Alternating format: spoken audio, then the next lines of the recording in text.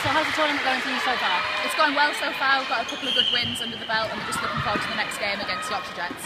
So Coach uh, Neville is rotating the squad quite a lot. Is that, is that kind of so you can see ha- ha- potential starting lineups for the season? Yeah, I think definitely at the start of the season she needs to see where the squad's at and who's performing at the minute, and also you need to sort of take care of players and not put too much strain on them at the start. So I think it is a good idea to sort of rotate and get a lot of combinations out there.